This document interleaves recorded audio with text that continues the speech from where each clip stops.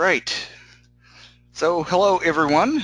Welcome to uh, today's GroupWise 2014 webinar.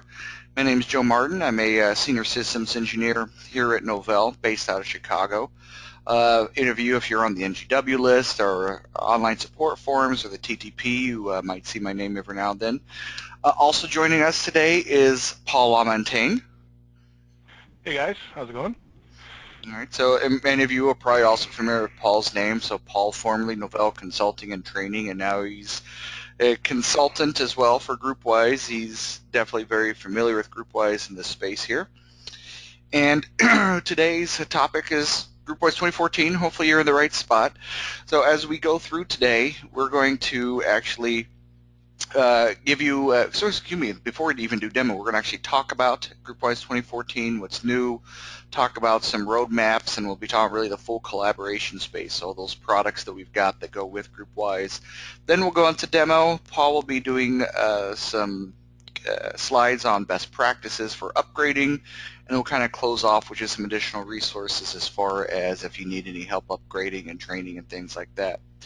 Um, a couple things to be aware of is everyone's phone line is muted. So if you've got uh, any questions at all, feel free to go type those into the chat or the questions window.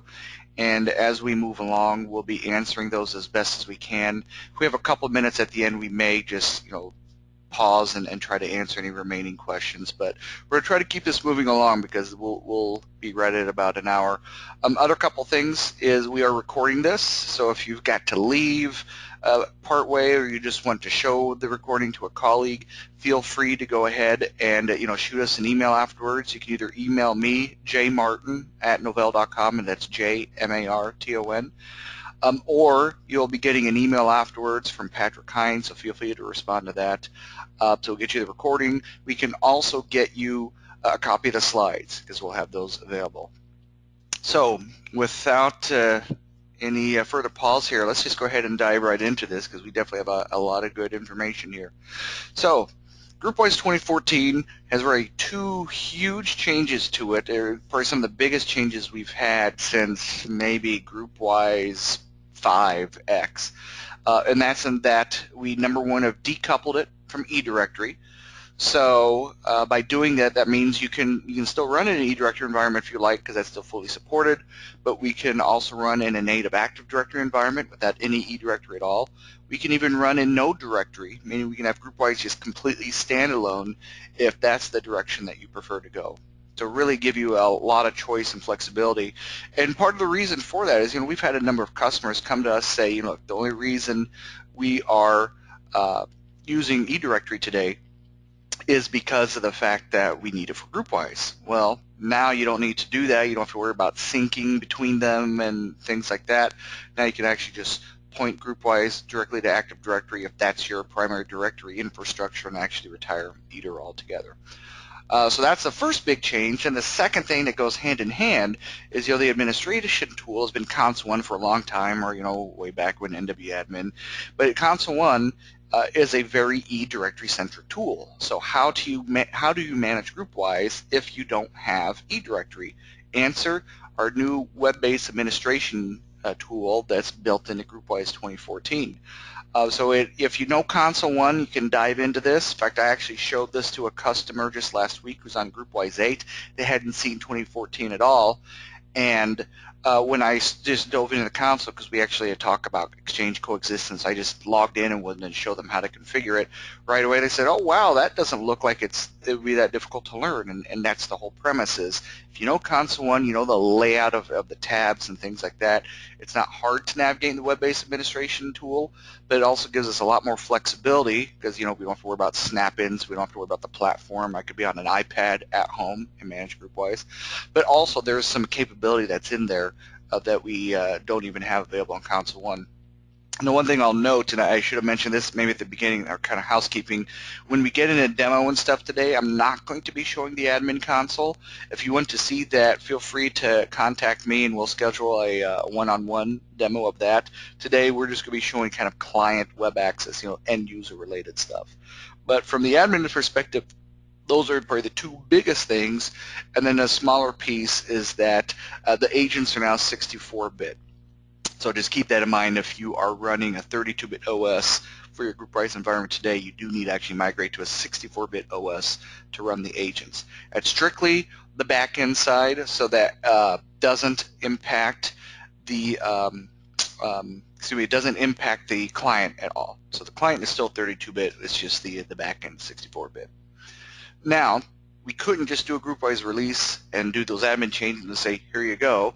So we need to have something that the you know users need to get and be beneficial. And you'll see that in the demo. And so I'm not going to really go into detail on these items because a lot of them are easier to just show versus try to explain them.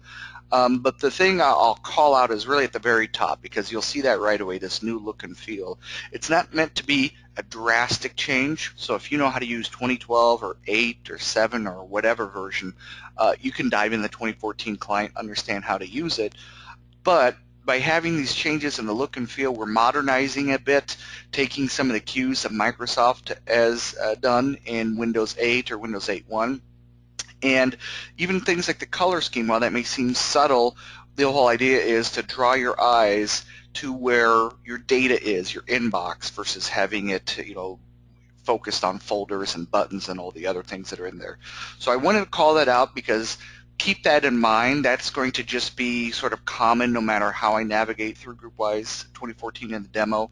And then all these other features, name completion uh, control, compose views, so on and so forth, those I'm, I'm not even going to mention right now. I'm not going to talk through them. Uh, those you'll get to see firsthand and see how we've improved some things. On the web access side, you'll see that similar look and feel. That color scheme, by the way, is there. Uh, and we've also added auto refresh capability. So if you've got users that live in web access, and, and I definitely see that in some environments like healthcare environments where you might have you know a bunch of machines up that people just log in and use a browser and that's it because they don't they're shared machines that nurses and other people maybe use.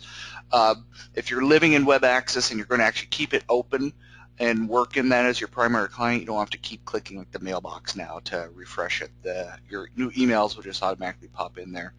Uh, and then for mobile web access, those mobile templates that we introduced in 2012, further enhanced now in 2014 by supporting the uh, upload of attachments from various platforms. You can see there Android and also iOS 6 on up. And then of course we're just continuing to certify and officially QA more tablet uh, platforms. Now, things you need to know, again, I already mentioned 64-bit earlier, so keep that in mind. Uh, again, 64-bit agents, and also all those utilities, you know, DB copy, GW check, you know, any of those utilities that you would run on a server at least, those are all 64-bit. Now, if you're going to run GW check that's installed as part of the client, that's all 32-bit. But anything server-based, 64-bit. So that means you need to be on a 64-bit OS. If you're running on Windows, that's not too difficult because basically 2008 R2 in that, sorry, in that version of Windows and since Microsoft only has 64-bit versions available. If you are running on Linux, keep in mind that, you need to be on SLES 11 or higher. Uh, we don't yet support SLES 12. I should call that out. SLES 12 support is actually coming in our Cornell release, so we'll talk about that in a few minutes here when we get to roadmap. Uh, OES 11 uh, is also supported along with you know the latest support packs. So again, keep in mind you need to be on a basically a current Linux platform or current Windows platform, and it must be 64-bit. Uh, as far as clients, we still actually do support XP, even though Microsoft hasn't supported it now in about a year, uh, or almost a year. Now, keep in mind if we uh, if you open an SR and we determine there's a problem that really looks OS related, you might be stuck there. There may not be much that you can do because of the fact that Microsoft, you know, isn't releasing any patches any longer for XP. So you definitely be encouraged to get to a new version of Windows, which by the way, if you're trying to do that, let's talk ZenWorks and, and how that can help. But anyways, so we support Windows 7, Windows 8, 8.1, all that's uh, supported. Uh, from a browser perspective, IE8 is only supported for XP machines since that's the latest version available for XP. Otherwise, on any other version of Windows, you need to be on at least IE9 uh, for web access. And then we also support, you can see various versions of Firefox, Chrome, and also Safari, though keep in mind Safari is for OS X. So those are a couple pieces that actually go along with uh, GroupWise or mobility service, which I'm sure many of you are running in your environments today. Um, great solution there so that all your mobile phones can access the email, contacts, calendar, and so on and so forth. We released a new version of that uh, about five weeks ago, I think it was now. Uh, GroupWise Mobility Service 2.1. In this latest release, number one, we support a new version of the ActiveSync protocol. And so uh, that'll, first of all, get us some new functionality that's available in there. Uh, but the bigger thing is that that also means now we can pick up Outlook support. So a very common scenario is someone will come to us and say, hey, uh, I've got a C level, he loves Outlook, he wants to use Outlook, he doesn't want to use a GroupWise client, or there's this third-party app we've got uh, that we, we need to use it, but it's only uh, supported with Outlook and not the GroupWise client. So luckily, Microsoft actually added ActiveSync support in Outlook 2013, and all the only thing you really need on the back end is something supporting ActiveSync 14, which we now have. So if you do have a need to use Outlook in your environment, you can do Outlook 2013. Keep in mind we call it a first look, and I've got some more information in a second here on what that means. So it's not officially supported yet. We want to get that support officially baked into the product a little bit later on. You'll see that roadmap, but at least it means you do have that option available to you now. So we'll talk more about Outlook in a second. The other things uh, we've got out there is really we're building the framework to support the Cornell release, some of the new functionality that'll be in it. We want to go ahead and sync more types of data and whatnot with a GroupWise mobility service, so we've got that into one. So one is the support for the follow-up flag, a little flag icon that you may see on your mobile device that if you tap it doesn't do anything. That actually syncs back to GroupWise today now if you're on GMS 2.1. Uh, with current GroupWise releases, even 2014, what that does is it creates a task in your task list that you would go in and, and manage. In Cornell, you'll actually see an icon that would light up in your inbox to indicate that. Sticky notes is a similar kind of thing. It's basically the, the concept of doing notes. So you may have an old notes folder in your client if you used to use the other GMS product, the GroupWise mobile server, which was the Nokia IntelliSync product many years ago in the GroupWise 7 days. So we'll sync notes from devices to there. Uh, again, Cornell's going to make it easier to do. Even the contact photo sync, what we're really talking about is contacts out of the system address book, which again is a Cornell thing. So a lot of framework there to support some of the stuff coming in Cornell. Doesn't mean you can't take advantage of some of these features today. They'll just uh, look a, uh, a little bit different. Uh, and so, by the way, going to Outlook, I wanted to wait till we got to here uh, discuss it more detail. Again, no support right now, so it is what it is. Uh, we definitely want your feedback, so please, if you've got people that say they want Outlook, feel free to start leveraging it and let us know what works, what doesn't, what you'd like to see, things like that, because we definitely want feedback as we work on improving this. Uh, and then keep in mind, from a feature standpoint, whatever you could do on a mobile device, that's what you can do in Outlook right? So from my phone, I can't proxy to a user. I can't access shared folders. Same story in uh, Outlook. On a phone, maybe I can only access the last 60 or 90 days or whatever, you know, depending on how many days of mail you've chosen in the admin console. Same thing in Outlook then, right? So it's not everything. It's it's via ActiveSync, but uh, at least with some of the, the discussions we've had with customers, that that may actually suffice for a number of users. So just uh, keep that in mind as you start uh, looking into that. All right, the other thing we released about the same, actually not about, but at the same time as GMS 2.1 is the new version of Messenger. So I know many people have been waiting this for a long time. Not so much for updated desktop clients, although we do have that, and you see a screenshot there of the Mac client, but more so for the mobile apps. That's the thing that everybody's been asking us for a very long time that is now available. You've got to upgrade your backend first uh, if you want to uh, support the mobile apps, but the apps themselves are available in the Apple App Store, Google Play, and BlackBerry App World. And those three platforms supported now uh, with some plans a little bit later on to release a Windows Phone version, but that's not available yet. Uh, the other thing keep in mind, by the way, as you get ready to go to Messenger 3.0, if your current Messenger environment is running on NetWare, we have dropped NetWare support in this, so you must be on uh, SLES or Windows. All right. Again, so all 64-bit agents. Yes, good point. Thank you, Paul.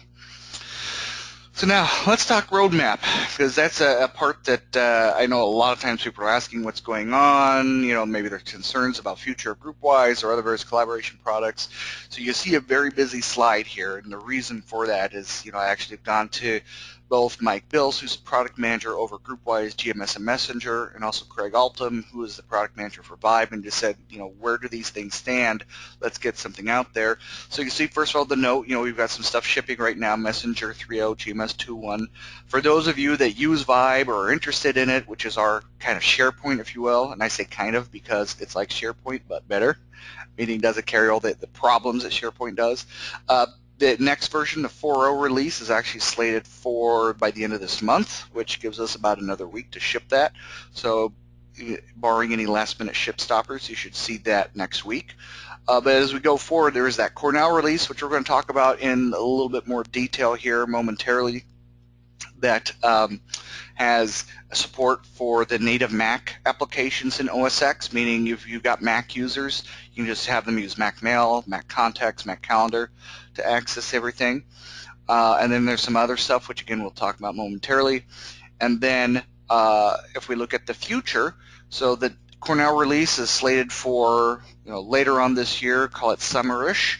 Uh, the next release of GroupWise, we want to have you know heavy focus on the end user perspective in general. So we're doing you know some Mac stuff and some other things, but you're going to see uh, more improvements in the client and web access. We want to have some pretty heavy web access uh, updates there, especially to narrow that gap uh, between the Windows client and web access.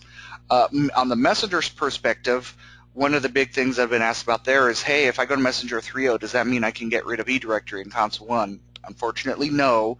Uh, so the uh, the architecture hasn't really changed. We just added that mobile support. But the next release of Messenger, which we're hoping, you know, maybe early next year, that's where we want to actually make it directory agnostic. We'll actually leverage GroupWise as the user source, more than likely. I mean, things are still subject to change, but the plan right now at least is GroupWise is the one talking to either eDirectory or Active Directory or standalone. So no matter how you do GroupWise, tie that in. Uh, definitely give us some feedback. Uh, in particular, if you maybe leverage Messenger in a standalone environment or something, uh, we'd like to hear from you there. Um, but anyway, so that'll allow us to make it platform agnostic from a directory perspective and then web-based administration we do that. GMS side, most uh, uh, or more current uh, release that we're looking at or uh, a nearer one is our Afton release and basically that's where we want to get the Outlook support fully baked in. So it out of that first look phase. It'll be supported and whatnot. And then there's also the Outlook mobile app. So all this talk about Outlook is really talking about the desktop client.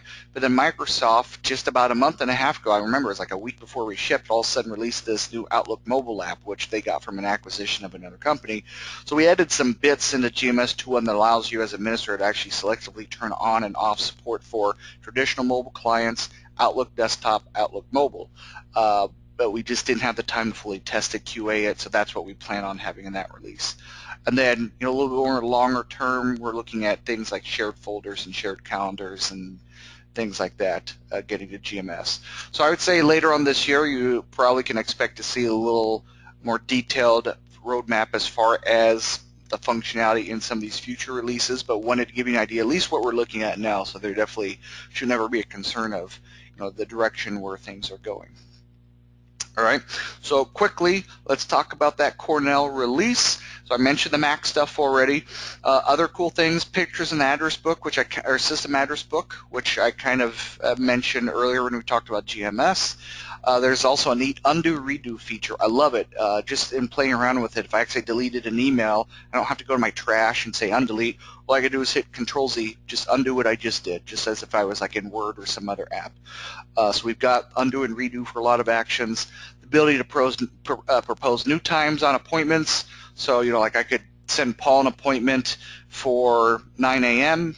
He could get that and say, Joe knows I don't roll out of bed till 9:30, so we need to do a 10 a.m. appointment. He can actually click a button that says propose new time, suggest 10 a.m. I get that as an appointment request. If I accept it, then he gets updated on his side as well.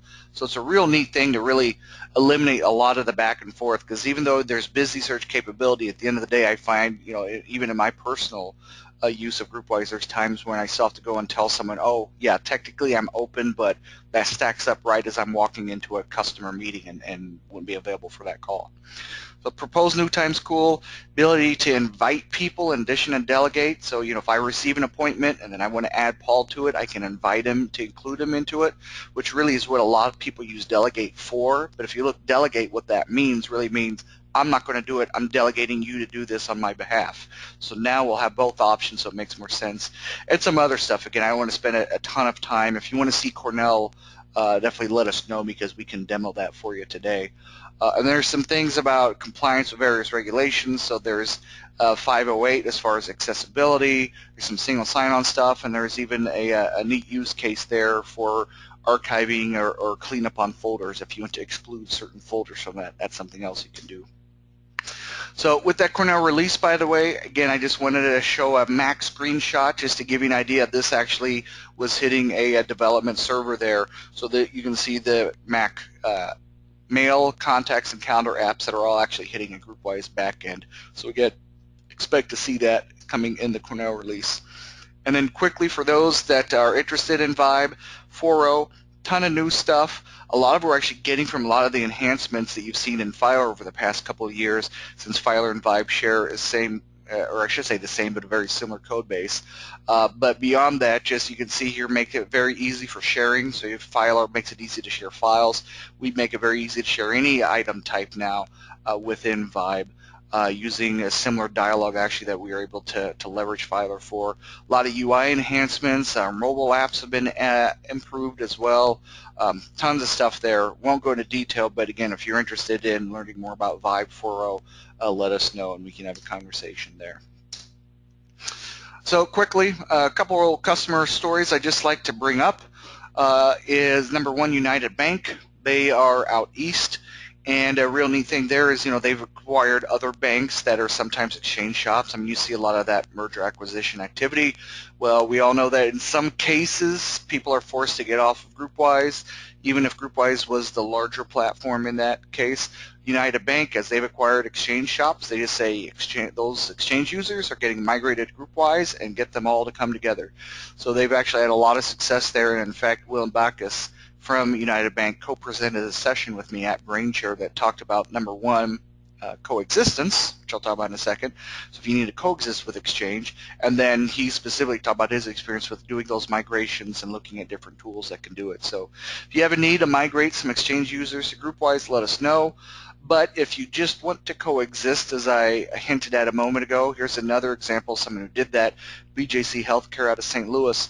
Uh, they were able to save nearly $10 million in what some of the migration costs would be just by leveraging coexistence so that the hospital could actually communicate with a local university that works very closely with the hospital. So it's been very successful.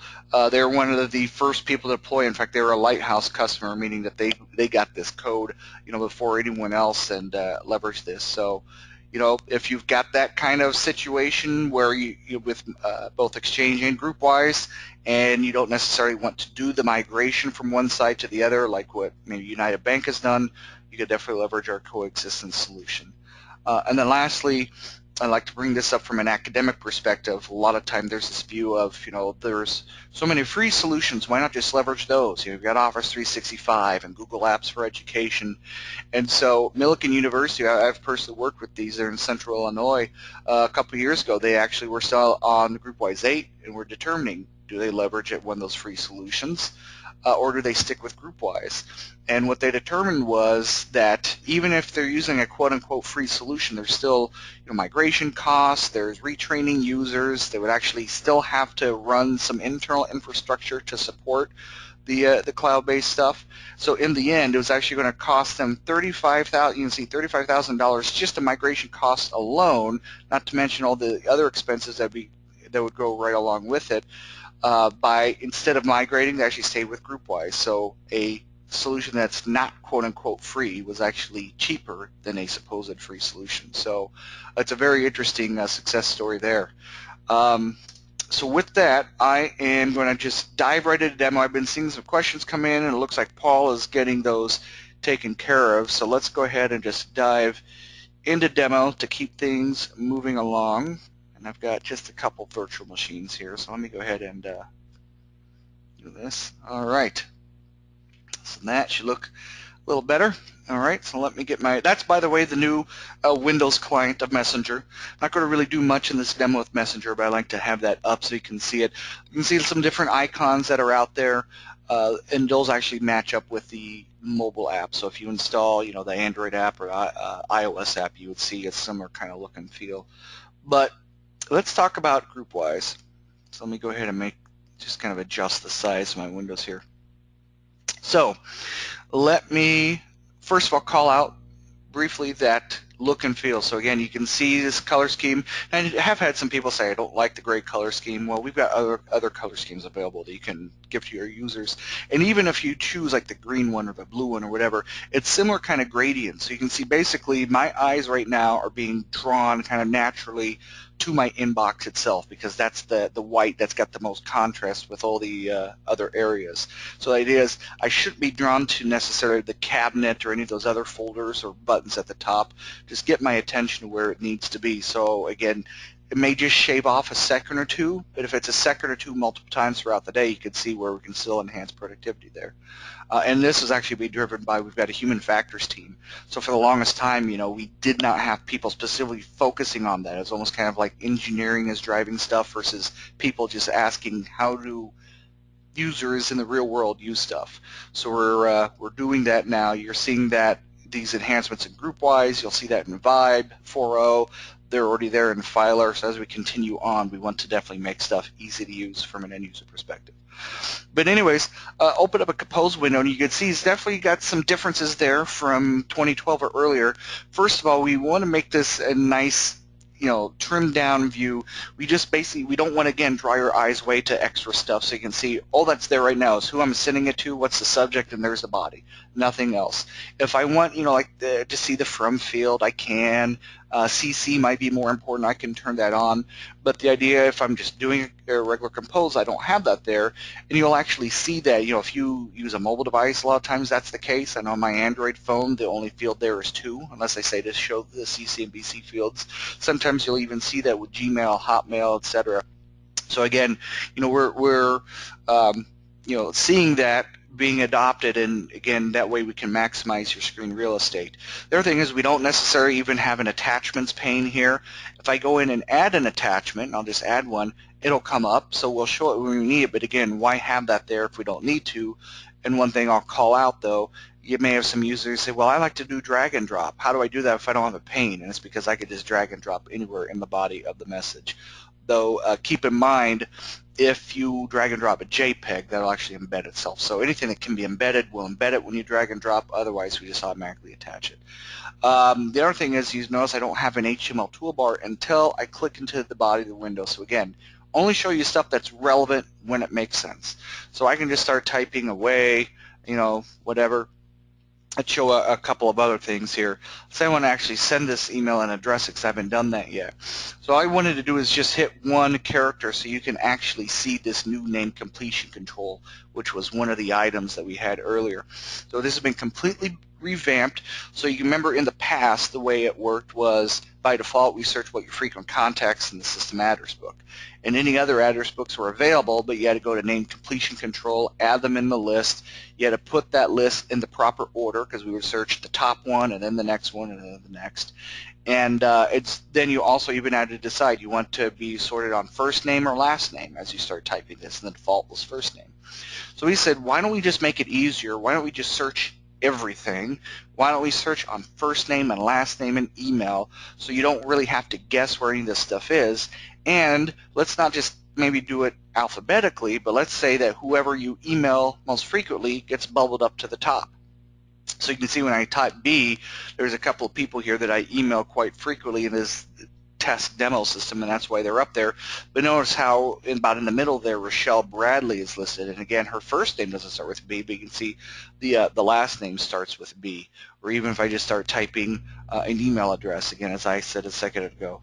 So really, we want to make this easier. Uh, sometimes there's some confusion because people kind of uh, remember the way things were before and say, why am I seeing in a different order? Well, a lot of it, again, is just about bubbling up what you're actively using. So we started even in 2012 to have what we called relevance sorting. You still had to choose which address books to search and things like that, but within a single address book, we would at least show you the top people based upon the number of times you've emailed them, the relevance. So now we just you know took that concept and expanded it. All right, so let me go ahead and just uh, I'll address it to Bob, test message. Maybe I'll actually put some put some real text in here. This is a test. Now, next thing you see down here, click to add signature. So I can just click it, boom, my signature is there. On the fly, it's real easy to choose which one I want or to get rid of it. And if let's say I want to actually make a change, like let's say I've got this basic one, I made my window bigger because I wanted now to show you this slide out. So that's also there as part of our compose. You'll see it whether it's a new message or reply, creating an appointment, any of that stuff that we've taken some of those common activities and included them on the right side. So one of the real common things is adding a signature, creating a signature, editing a signature, things like that. So right here, I've got this one called Basic, and instead of Acme Corporation, I wanted to actually say Acme Corporation Inc. and hit Save. Notice it updated it right in here, and not only did it update it here, but that literally means that is my new signature. If I go out here and take a look, there it is, listing my signature. So if I were to go to Tools, Options, Environment, I would see the same thing. So we do add the ability in Cornell that you can make a one-time change in this field can't edit anything in here right now. You have to make them more permanent changes. But at least we've got you that ability so you don't have to tell people go out to tools and options, especially if someone maybe is coming over from Outlook and Outlook puts it in a different place. Now you don't have to worry about where is that option in GroupWise because it's available to you immediately as you're composing or replying a message. And we've got some other things, changing types and stuff like that. So uh, I'm going to go. That's Joe, that's one of my favorite ones, though, that change too, because how many times have you started an email and go, mm. dang, I needed that to be an appointment. You had to cancel, you know, copy, paste, cancel, start over. This is great, man. You just go here and go change it to an appointment, and voila. A good point. That's a good point. In fact, and what's nice too about having it here is I've had to use that a few times. I've done that myself where like Paul said, I'm composing a message, I type in all the people and realize this, I created a mail, not appointment. I could never remember where it is up here. Is it actions? No. Is it under tools? Actually, I, I, still don't know. I will never, oh, there it is, under edit. I will never, ever remember it is. So in 2012, I always struggle because when I needed to do it, I'd always have to hunt and find. Since I've gone to 2014, when I do need to do that, I can make it on the fly real easy. And since my window's a little small, let me go and make this just a little bit bigger here. So it makes it super easy to make that change. And you see when I make an appointment, it brings everything over that I've typed already, and I just have the option to do the extra fields. So definitely thank you, Paul, for, for calling that out. Now what I want to do too is now let me go to a reply on an uh, email. So here's one that was sent to several people, and let's say I hit reply. And then after I hit reply mail, I start typing my messages, and I realize, you know, I should have actually done a reply all. So now you have to go find everybody or cancel out and hit reply all and paste it back in, or have to, you know, it's, it's disruptive. It's not easy in 2012 or earlier. In 2014, all I got to do is right on the fly say, oh, I want it to be reply to all. Because whether you hit reply or reply all, we know who all the original recipients were. So no matter what button you selected initially to create this reply compose view, you could switch on the fly either of those. And if I had had an email attachment, I don't know how many people are aware of that if you receive an email with an attachment, like let's take, for example, you see this has some attachments. If I wanted to actually uh, do just a reply and include an attachment, well, there's a modified one, so we'll uh, we'll ignore that one uh, so in 2012, I should say, sorry, I'm kind of going back and forth. I, sometimes the, the, versions tend to, to merge together. But if I right-click, I could do reply. Then I would get a choice to reply with options, and I could choose to include the attachment. But now in 2014 we got rid of having to find that and that was really buried and so a lot of people didn't realize it. I've got right here to automatically just include that attachment on the fly. So if you had a case where you needed to reply to someone, you still wanted to include the attachment because you want to reference it or something, you make it very easy to do that. I don't have to drag and drop or do that right click or anything like that. So uh, those are a, a few of the things there with our compose views. The other thing too that I want to highlight is filing stuff away. So if I've got an email here that I want to, to file away, we've got this option move to and again we do relevance. Now my demo environment I'm not filing anything away so I don't see anything in here uh, but when I look like in my live uh, GroupWise 2014 environment, you'll actually will see up to 10 folders listed here, and those are the top 10 folders that you're working with. So every time you switch to a folder and you drag stuff to it and things like that, we keep track with that counter. And so those will be listed here. But if let's say numbers 1 through 10 uh, aren't what you want, you could just go ahead and choose more folders 11 through 20 would actually appear right here. So I could actually very easily get to the top 20 folders I work with. If none of those are what I want, then in this dialog I can do expand and I can come down here, you know, to customers, I like my hot sauces. And here I could, if I type the letter T, for instance, jump right down. So in this demo environment, you can see there's not a ton of folders. Even under this one, I've got one for every year in the year 2012. So I've got 12 folders. But like in my client, you know, I have a folder for every single customer that I ever worked with. So I've got hundreds of folders out there. So rather than trying to do drag and drop, because I actually, I even hide my folder list on the side, which by the way, you've been able to do this since GroupWise 8, that you could come over here, hide it, then it'll appear, scroll down, and get to it. So you can see the scrolling is fairly quick in this case because I don't have a lot of them. But imagine if I had 300 folders, I would be sitting there waiting forever. So this move to capability actually makes it super easy to uh, find my messages. All right, so I leverage that uh, quite frequently. So one more thing I just want to show off here. Let me get logged into GroupWise Web Access. And I'm going to sign as Bob, so let's sign as someone else. I'm signing as Adam over here in the client. So let me send a message to Bob, and I'm going to kind of move things around so we can see as this happens. Let me send a new email. Bob, important note, you're fired. All right, so I'm going to send that off to Bob. And you can see I didn't even touch the browser before I could even click over to it. There it was automatically popped in there, Adam's thing, important note, and that's a terrible way to let uh, Bob know that he's fired. But regardless, you can see how very uh, quickly there that came up. So again, if you've got people that live in web access, that is a very handy thing. So with that, I think, Paul, I'm going to turn it over to you. Let me get back to the presentation. And we'll just keep kind of plugging away. And I'll take a look at those questions you've been going through as well. Right, I was, there's just that last question I was just about to answer. Uh, someone's asking a question about the attachments. Uh, if you did a reply and added the attachment, would it be a brand new attachment in the in the in the message store, or would it just uh, add another header uh, pointing to the existing uh, blob file? Um, and that's it. Well, I'm, I'm, that's a good question because I'm yeah. not 100% sure. I, I mean, hopefully, and we'll have to research it. It, it, I'm, it should I'm just be a pointer. It should just, I, yeah, my first gut instinct is it should just be a pointer because the file hasn't changed. Obviously, if it was the modified copy, if you had edited one, it would be a new one. Yeah. Um, so, so, but it's a good question. I because because it's the reply with the attachment, I'm not 100% sure. Yeah, I, I think you're right. I'll I'll look into it, and um, Sylvain, we can we'll respond to you if it's other than that if we're incorrect, because I, I, will double check. But yeah, I, I, do believe that when you reply with the original attachment, that uh, it is just going to be a pointer to it. But we'll find out. And yes, you can go back to the classic GroupWise look as well. It's one of the uh, options if you go into the tools options. That's another question that came in. There was one other question that I didn't answer, Joe, was the very first question about uh, prior to upgrading in 2014, uh, do you have to convert external entities to group to uh, to real accounts?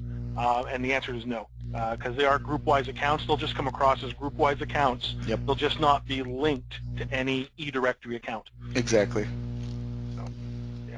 All right, so uh, Joe asked me here to talk about the best practices for upgrades since uh, those of you may know uh, I co-authored the uh, Upgrade to GroupWise 2014 guide uh, along with Danita Zanrè, uh, so we have that guide available. And so in our practice we actually do a bunch of these, so we're pretty good at them.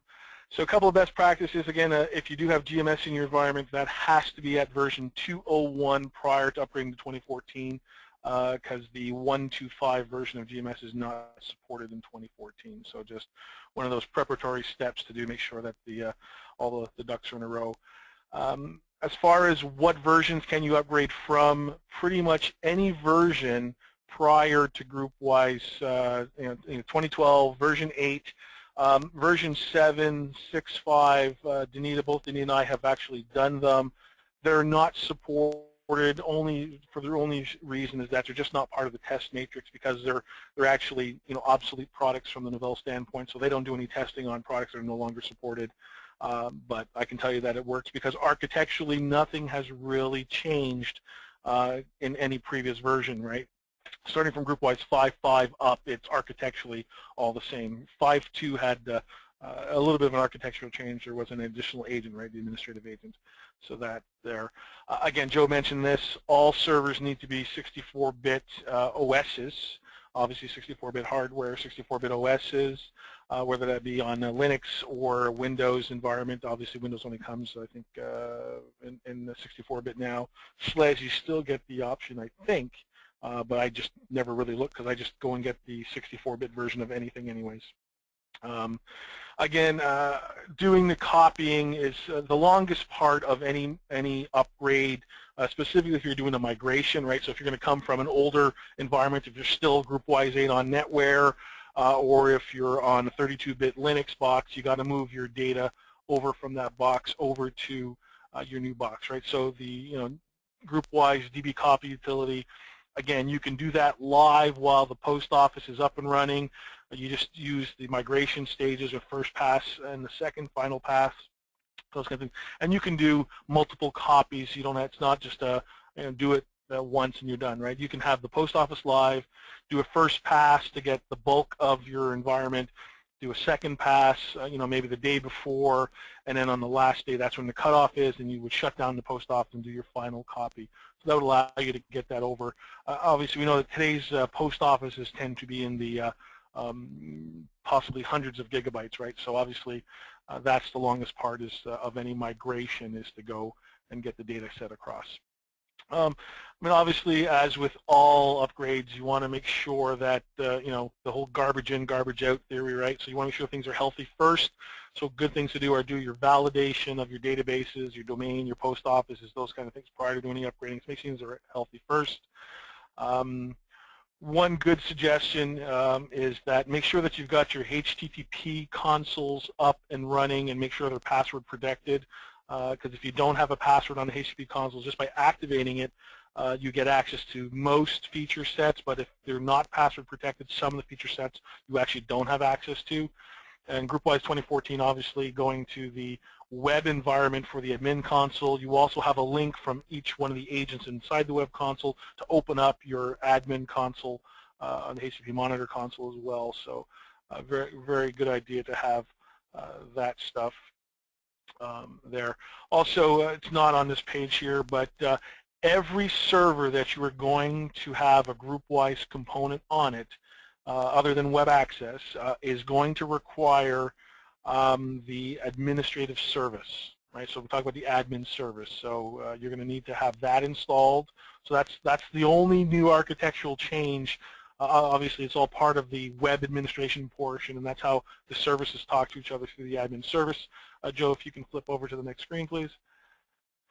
Um, the admin service has two two parts of it. There's the installation part of it, and then there's the admin, the actual admin console part. So there's really two administrative consoles. The install console is where you would go to do upgrades, where you would go to do um, in, uh, you know, possibly the creation of a new domain, new post office, you would go through the admin console. That admin console has some security built into it that it uses a token uh, environment in order to access the administrative, the install features, right? Because they kind of don't want really anybody just to use a, a web URL to hit um, and do the install. So you have to generate a token, and there's a time limit of how long you have to use that that token optionally, uh, and again, it's really, it's, it's, it says here optionally, but it's really recommended is that you could convert the user mode from being token-based to, uh, or the, the install mode from being token-based to user mode, which would require a username and password at that point to access the installation console. Highly recommend that you do that. It's just a lot easier. Um, but you, again, that would be a every server you would have to do that. Um, you can also disable it. So the, the three modes are, are user mode, token mode, and there's actually a disabled so that the actual install console is disabled on a particular server. So you can actually do that, the three, three modes. Um, if you're going to go that way, we talk about creating some accounts. So as you do your upgrade from 2012 or prior to GroupWise 2014, one of the things it's going to ask you for is a super admin account. The default name it uses is admin. Uh, I don't think that's a great choice only because you don't want to have any confusion between your admin account from your eDirectory environment and now the GroupWise admin account. Right, so I, I will typically give it a different name here. Uh, we're suggesting GW admin. I actually call mine GWC admin for GW console admin. That's kind of how I do mine. Uh, and the GW install, uh, I call it uh, GW install uh, admin or GW admin install, uh, which is fine, GW install. So just to have a different account for the different purposes, right? So this super admin account that you create, it will have full administrative capabilities of the entire GroupWise environment. It is not an account that exists in the GroupWise system. It just exists. Those of you who've been around GroupWise for a long time, remember the old, we were, prior to GroupWise 5 and GroupWise 4 days, we had the we had the admin account. It was there. So in the ad.exe program, there was an admin account, and it's basically the same guy. He's been hanging around for a long time. Um, there is a way to change that password. If you actually came from that world, the admin password would still be set. There is a way to reset that.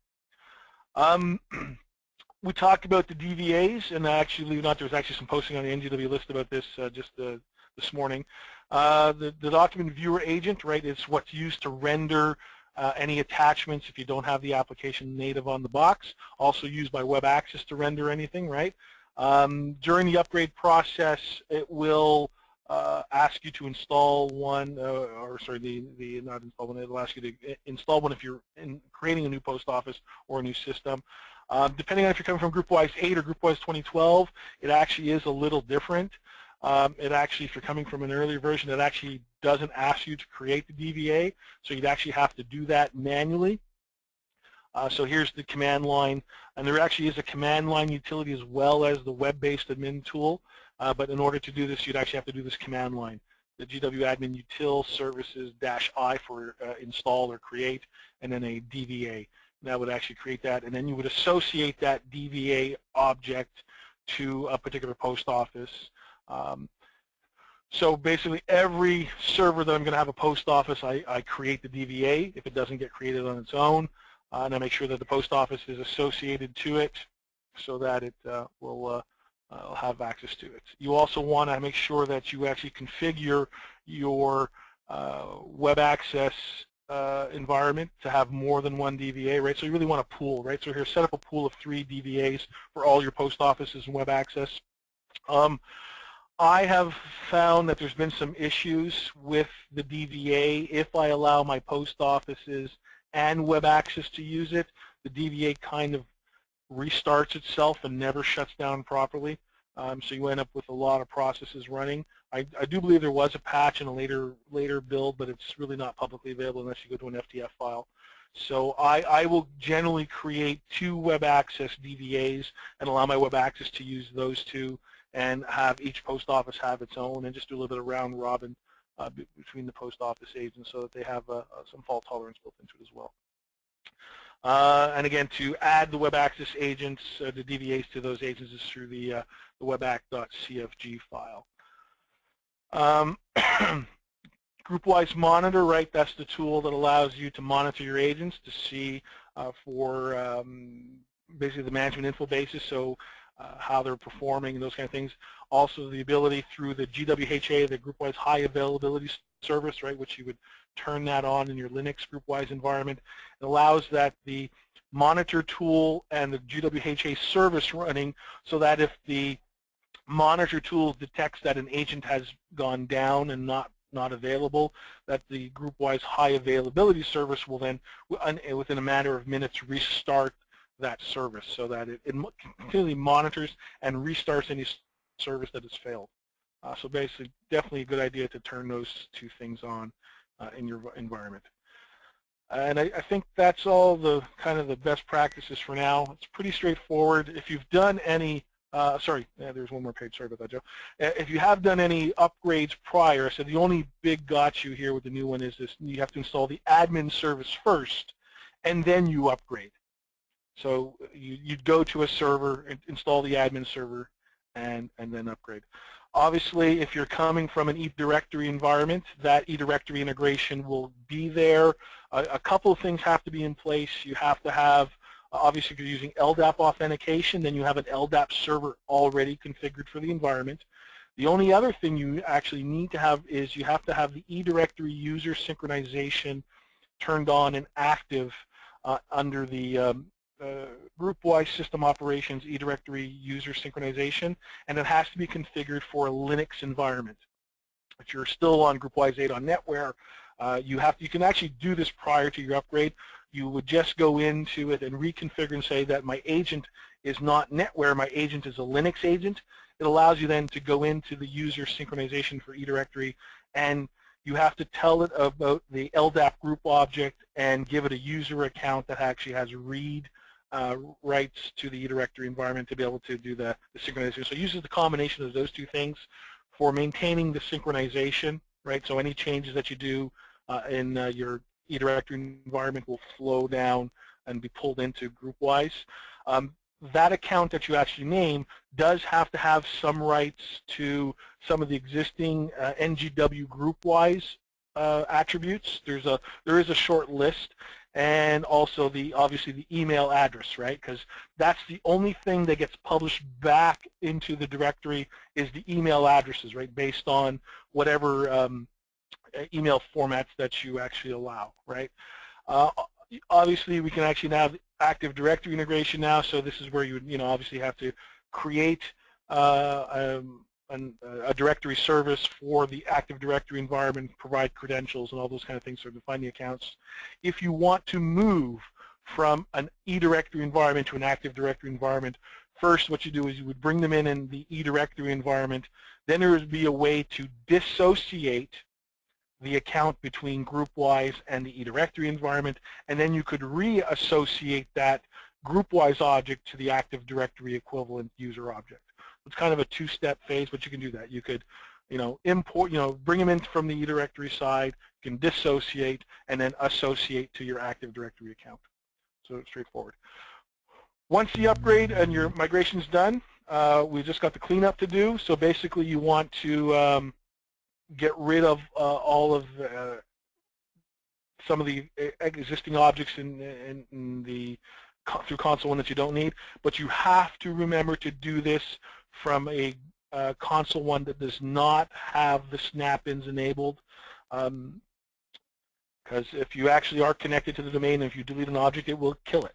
It will it will delete it. So uh, in the uh, new admin console, there's some obsolete software. There's some. There's a. There'll be under the system information. There'll be legacy. So things like software distribution directives, which are no longer needed for GroupWise 2014, you can get rid of. If you've upgraded from GroupWise 8, right, you may have a web access agent that you no longer need. So you can delete these objects from those uh, environments as well. So the obsolete gateways, obsolete software distribution directory. And then you might want to uh, consider implementing Calendar Publishing Host as a service because um, that is actually a requirement if you want to use the Outlook client um, and do synchronization with that and you want to be able to do free busy searches from the Outlook client, uh, it is actually dependent on the Calendar Publishing Host service being up and running because it uses the same URL uh, from the uh, Calendar Publishing Host environment for doing that. And I think that ends it for me. Yes, thank you, Paul. Quick question, one that came in that I wasn't sure on. Um, when you go through the upgrade process to 2014 and you create that sort of super admin user for logging into the admin console, can you change that super admin's uh, the username after the install? Yes, yes, you can. it's all part. The GW admin utility will allow you to rename it as well, or create a new one, or rename it, or it's called it's uh, admin util set admin, I believe, will be allow you to change the password. And there is another one. If you actually just do um, you know dot slash GW admin utility, it'll give you a list of all of its commands. And then if you actually do the dot slash GW admin utility that command, it will then give you the syntax on how to use that command. So you'll be able to find it in there. But yes, you can rename it. Cool. Thank you, Paul. So I'll go through just a couple more quick things here as we wind down. Looks like we've about five minutes or so till the top of the hour. Um, so I wanted to talk about Novell Consulting real quickly. And in fact, before I start that, first of all, we've got great partners like uh, Paul himself who's helping out today, and we've got a very good partner communi- uh, community that can help you. Uh, but in some cases, you may want to come directly to us as well and we are fully able to help in a number of different capacities as it relates to GroupWise. So whether you just maybe want someone to come in and maybe look at your environment, do a health check just to see are, are there any underlying issues you need to be concerned about or even to make sure you're prepared to upgrade to 2014, we can do that. We can, of course, do the upgrade itself in some cases, maybe you just want to install the mobility services because I, I, do find customers that today are still leveraging some of the third-party solutions because they just, for one reason or another, never implemented our mobility service. So we can help with that. Or lastly, if it's a case of you've just lost a great GroupWise admin that you had in the environment and you need someone to come in and provide some assistance for a period of time until you actually can, you know, hire a replacement, we can do that with essentially staff, you know, augmentation. And we've had a number of people that have leveraged our consulting services for various projects. And you could see some quotes here in particular about GroupWise and some of the help we've done there, especially there's a, a great quote there from a government customer in the bottom left uh, corner. So again, keep that in mind is that you know all this great stuff we're talking about GroupWise 2014, you don't have to be on your own. You can get help from us. You can get help from partners and there's some additional resources we'll talk about too where you can get some assistance. First of all, the roadmap I presented today, if at any point you want to kind of see the latest information on the roadmap, we've got that available, novell.com slash GW roadmap. Uh, we've also got a group, the GroupWise blog, which is staffed by both Mike Bills, the product manager, and Nick Schultz, who is the product marketing manager. Uh, so you'll see updates from them periodically about things going on with GroupWise, so I encourage you to do that. And then lastly, if you do want to do maybe the upgrade on your own, but you know would like to get some some training on it, we've got a couple of options. One is we've actually got an online advanced technical training course called Move to GroupWise 2014 or Moving to GroupWise 2014, I believe. Uh, so you can take that as like a couple of day course. Uh, or if you just want to take an admin course saying, you know what, I've been administering GroupWise for ages, but since there's this new admin console and some new pieces from an architecture standpoint, I'd like to take a class, we've got that available. So both of those classes are instructor-led. You get hands-on to virtual machines so you can do stuff. So, you know, it's the same kind of material you would expect if you were at an in-person class. You just don't have to go anywhere. Uh, and so those are available through our training services. Or if you'd rather do something just more at your own pace, we've got our on-demand training, uh, which allows you to see you know different videos and things like that on all the different Novell, SUSE, and uh, NetIQ products. So you can purchase a training subscription that's good for one year. It allows access to all that information, which includes some GroupWise 2014 resources. And then uh, finally, what I like to call out is that today's uh, webinar is actually part of a whole series of webinars that we're doing. So you can see we've got tech talks and a whole variety of uh, products and solutions. And in fact, we've got one a little bit later this week on Thursday, also at 1 Eastern. It's an academic focus, and we'll be talking about application virtualization. So even though it's an academic focus, anyone attending today that's interested in application virtualization, I encourage you to join that one. We've also got some uh, tech talks for our sister uh, brand of AttachMate, and you can see the full uh, list there at novell.com slash tech talks. So with that, I think uh, we'll draw to a close. Uh, I'm taking a look at the questions, and there was, you know what, one more question that came up that I didn't get a chance to answer from Madeline. Um, and I think this was a follow-up to the question about document integration. Uh, so I'll just answer that quickly. Can you get a list of who's using DMS so they can be notified, you know, for when eventually, you know, we look at phasing it out? And keep in mind, this has been a, a long-term thing that we've, we've been talking about for a long time, so it's not something that'll happen right away. And 2014 is even the first version where we've we've done a little bit there as far as like not porting some of the console one-based utilities into the admin console. Uh, but you can run reports internally as far as who owns different documents in your libraries and things like that to at least get an idea of how extensive the use is. And then uh, our add-ins for Microsoft Office for Vibe, since I said that's the direction we're going for DMS, currently support 2007, 2010, 2013. So we support the latest, at least Windows version, um, does not support you know the Mac version. So anyways, I, I see us continuing to update that. So whenever Microsoft eventually releases the next version of Office for Windows, and I think Mac is what's uh, up uh, next from what I've read, some Office for Mac this year. So I'd imagine Office for Windows is probably another year or two out. But we plan on you know updating that. So if you'd like some more information, definitely reach out to us we can have a more in-depth discussion as far as DMS goes. Um, with that, it looks like we're right at 1 o'clock. I don't see any unanswered questions, and there's the one we'll need to double check on as far as the attachments. So Paul, thank you again for uh, uh, joining out or joining today and helping out. Appreciate it. You're and, welcome. Anytime. And, and uh, there actually is, uh, for the, if there's anybody in EMEA, there's a summit going on in uh, April that I will be attending. Oh yeah. So anyone from Europe, there's the Open Horizons Summit in Budapest, Hungary, which is what about three weeks from now. April 13th to the 15th. There you go. All right. So with that, we'll draw to a close. Again, thank you very much, everyone, for joining us today. Have a great rest of your day. Thanks. Bye bye.